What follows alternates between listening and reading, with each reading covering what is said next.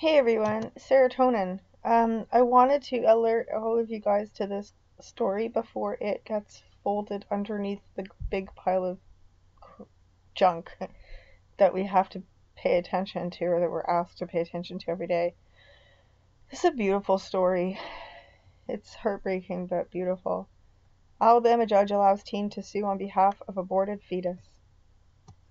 A young man whose girlfriend ex girlfriend possibly, um, went and got an abortion against his wishes, um, is suing the clinic on his behalf and the behalf of the fetus.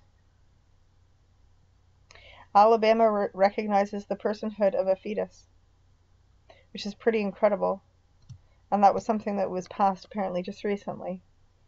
And it says here, baby Roe's innocent life was taken by the profiteering of the Alabama Women's Center, and while no court will be able to bring Baby Roe back to life, we will seek the fullest extent of justice on behalf of Baby Roe and Baby Roe's father.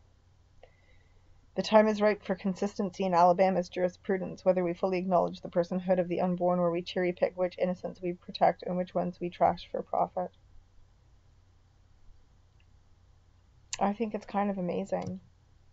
Now, people apparently are up in arms, pro choice people, because they're saying that it's putting women's rights third in line. And I would have to say, as a woman, I completely disagree that it's putting women's rights third in line. It's putting children's, the life of a fetus, front and center, which I think is really important. And I do agree that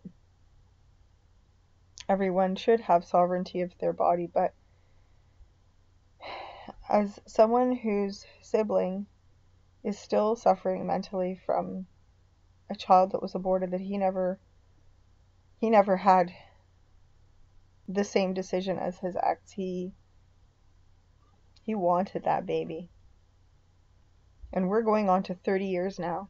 It's been and he has never gotten over it. So I think it's wonderful that this young man is doing this. It says here, I'm here for the men who actually want to have their baby. I believe every child from conception is a baby and deserves to live. And say what you will about what you think about abortion, but men have little to no rights. Young men. The only people who have rights in this world are the rich and the ones that are in the elitist club. Everyone else, all the rest of us, are peons and nobody cares about us. And young men are cared about the least. So I think that this is a wonderful thing. I think it's incredibly brave. I can't believe people are calling it unlawful and idiotic. I think it's very lawful. I think it might be strangely legal, but there's nothing unlawful or idiotic about it. I think this man this young man is an absolute hero.